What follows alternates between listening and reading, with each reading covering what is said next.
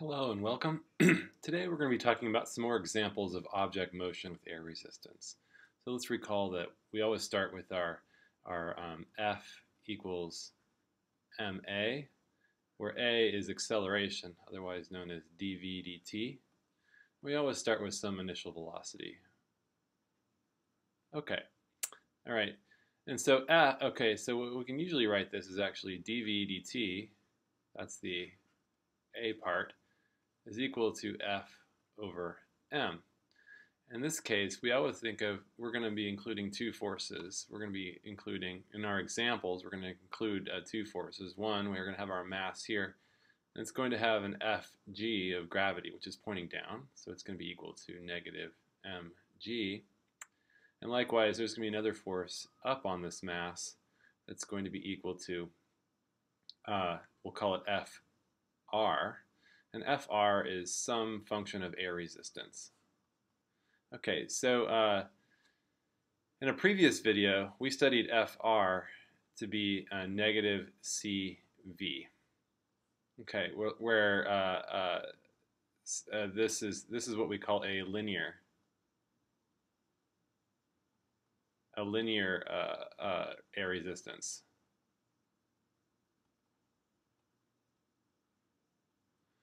So um, what we can do then is, is write this down. This becomes a negative g uh, plus f r. Okay, so fr. So uh, again, I'm going to go back to that linear case. I'll put that down. That's going to be our dv dt is equal to negative g. Oh, we have to divide by m there. Sorry. And then we get c. Uh, oops. Minus c over m uh, times v. All right, this differential equation, I'm not going to solve it again, but just note that it has an equilibrium.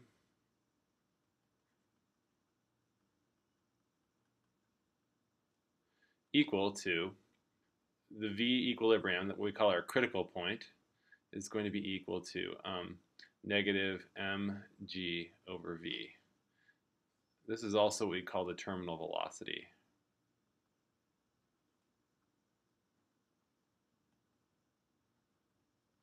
All right, so uh, let's talk about this a bit. It turns out, though, uh, uh, uh, that empirically, and this is just an observation, uh, from the field, and uh, that that means people who are involved in actually doing kind of aerospace or any kind of object motion involving air resistance, that this model uh, that linear velocity, linear linear drag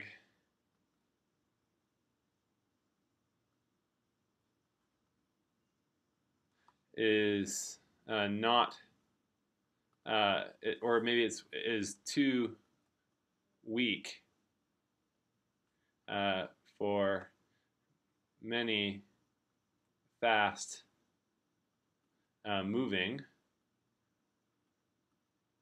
objects. And so what they suggest, or one suggestion is, so try a velocity like so. We're going to try an fr that's actually proportional to the square of velocity. So it's going to be that.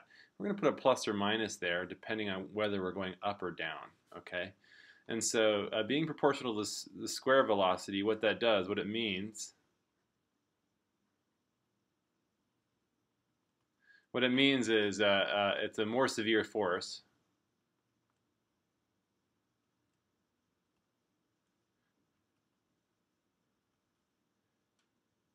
at high velocities.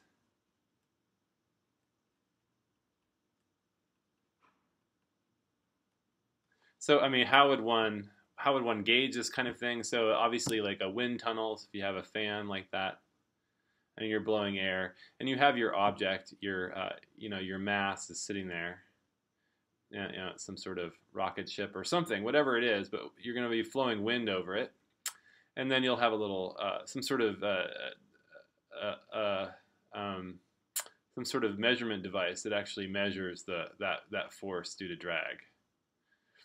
That that force. So you'll actually measure the deflection uh, against some sort of tensionometer that could measure that drag.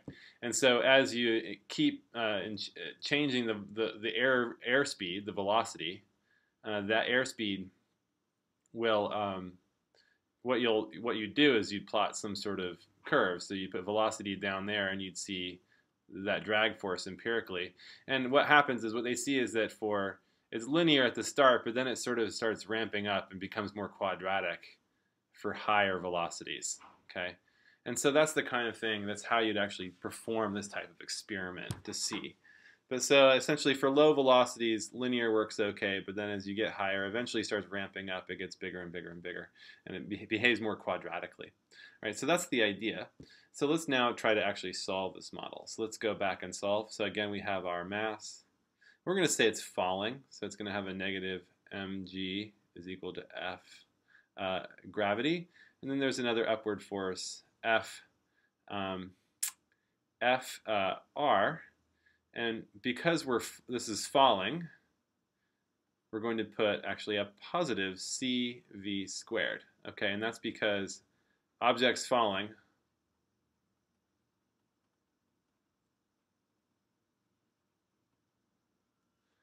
Okay, and so we want the, the, the drag force to be upward, all right? And, and what we really mean by that is our v at time zero has to be um, less than or equal to zero.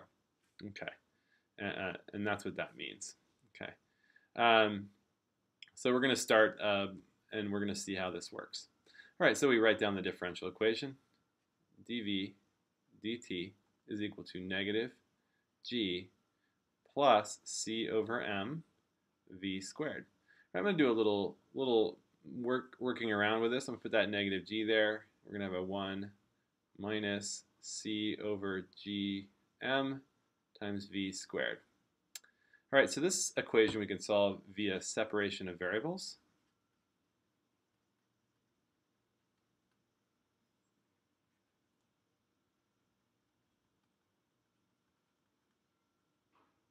So what we're going to do is we're going to divide out this factor there and multiply over the dt to the other side. So we're going to get 1 over 1 minus g over c over g m times v squared dv is equal to negative g dt. We can integrate both sides as follows and add a plus c, but I'm going to put little serifs on it to contrast it from my, my drag coefficient c.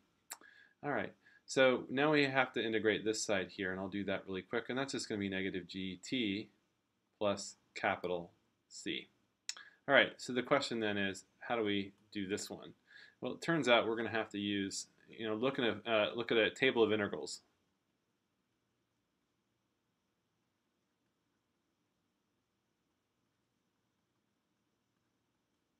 And what you're going to find is the following, that um, that d du of inverse hyperbolic tangent is equal to 1 minus u squared. Or rather, if you want to write it this way, the integral of 1 minus uh, 1 over 1 minus u squared du is equal to uh, inverse hyperbolic tangent of u, and of course plus some um, integration constant there. All right, so uh, we can use this formula. So what we're going to do is set up our integral here. But now what we see here, I'm going to actually move this inside and put that c over gm, and I'm going to make it all a square root inside there, v, put that all quantity squared. All right, and then we have a dv. Now, of course, what I can do is uh, let u is equal to root c over gm times v. Uh, du dv is going to be equal to root c over gm. And that means that uh, gm over c, all square rooted, times du is equal to dv. All right, so we can write this now in its place. 1 over 1 minus u squared uh, times root gm over c du and that's going to be equal to root gm over c times tangent, hyperbolic tangent inverse of, and then we'll put back in there uh, the value for uh, for u, which is going to be root c over g m times v. Uh, okay, um, and that of course is all equal to negative g t plus capital C. All right, now to finish this off, all we have to do is uh, solve for v. That's what we want. We want the solution, the v of t. So we have to solve for it. All right, and that's simply done. v of t. And that way, all we have to do is invert the inverse hyperbolic tangent and just essentially evaluate the, the thing at, at tangent once we do all the other algebra, of course. So let's do that. That's going to be, um, uh, it's going to be root gm over c times hyperbolic tangent times uh, c over gm all square rooted times g, I'll put a negative sign there, times t, because I'm evaluating there, plus that constant c. All right, so there's our function. There's our solution to our function. So we want to know if, it, if it's behaving roughly correctly. Uh, so one thing I can do is actually look at equilibrium.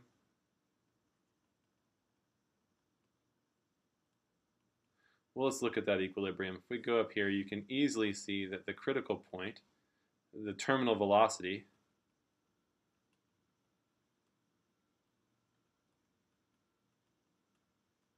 is going to be equal to what? Well, uh, it's pretty, just solve this equation, you can find out that the, the critical point, or that terminal velocity, is going to be equal to negative square root of gm over c. All right. So the question is, does this function also do that?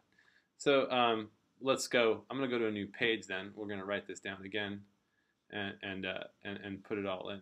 Uh, so what we have here is v of t is equal to, oh, you know what, I might have just, I need to just, okay, we have, we have this root g over m over c times tangent, hyperbolic tangent of negative g times root, just want to make sure I get it right, c over g m times t plus capital C, which is an undetermined constant. Um, I'm not going to worry about right now, but let's just write down again what tangent, hyperbolic tangent looks like. Um, this may come to you or not, but let's just write down the hyperbolic tangent of u. Uh, it's going to be equal to e to the u minus e to the negative u all over e to the u plus e to the negative u. All right, so if I take the limit of t going to plus or minus infinity of this, you'll get out of it plus or minus 1. All right, and that's because the graph of tangent u, or hyperbolic tangent, it looks like this. Where it's negative 1 there and positive 1 there, okay? And right at 0, uh, it's 0. Okay. All right, so it's a, it's a sigmoidal shaped function like that. All right, so obviously if I'm taking t going to positive infinity, I get a positive 1, and if I take it to negative infinity, I go to negative 1. Or sorry, this should be a u there. Sorry about that. There we go. And now, if I take the limit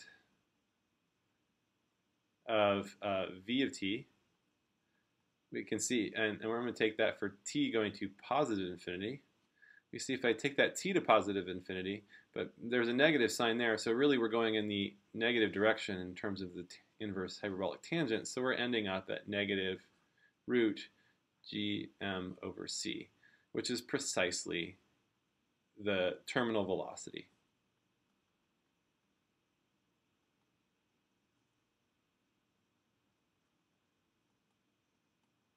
So to close this out, what I want to do then, of course, is compare this to linear drag. So in linear drag,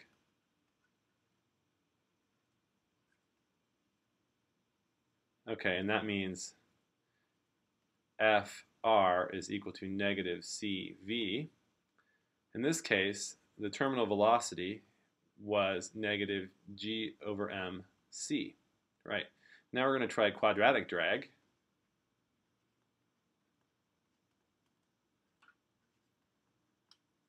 What we get from it is fr is equal to negative, I should say plus or minus c. In this case, let's just go with the plus cv squared, all right? And that's going to be our new drag coefficient.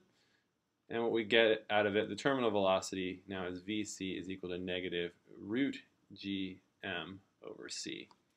Uh, so um, when uh, uh, gm over c is greater than 1, uh, note, so again, again, this is a case where um, the mass is large, the gravitation is, or basically gravitation is much bigger than m over c, uh, uh, then, so the gravitational force is, is large compared to, um, the gravitational acceleration type force is large compared to m over c. What you get then is that, uh, so I'm going to call that, this is going to be called c linear, and I'm going to call this quadratic. What we get is VCL is of course much is bigger than VCQ. All right, and that and that again matches up. We said that the quadratic drag should be a stronger, a stronger, a stronger uh, force for large velocities.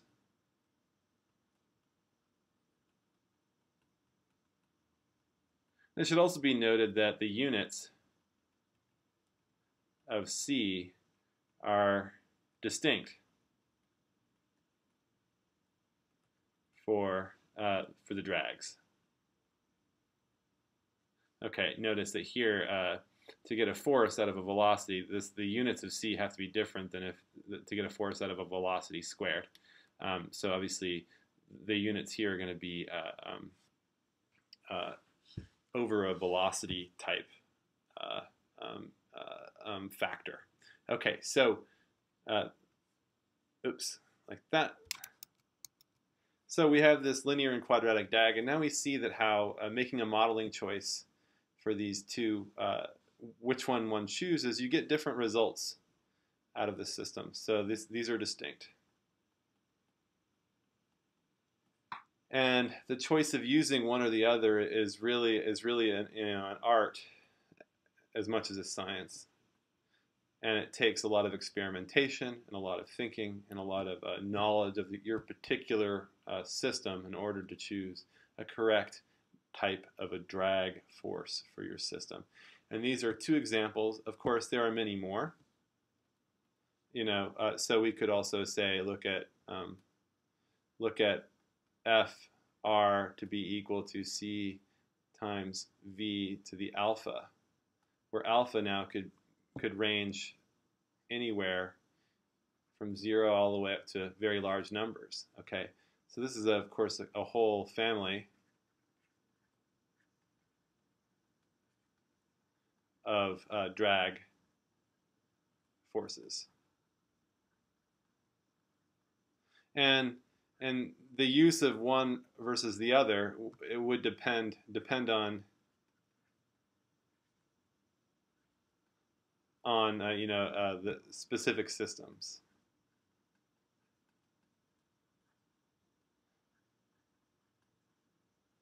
and its operating region and so on. And that, again, you have to determine this from experiment.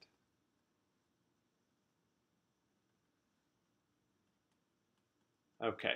So I hope that clears up and uh, gives you some more examples of how uh, air, air resistance and gravitation are modeled together to, to find uh, uh velocity functions for moving objects uh, through space. Thank you very much.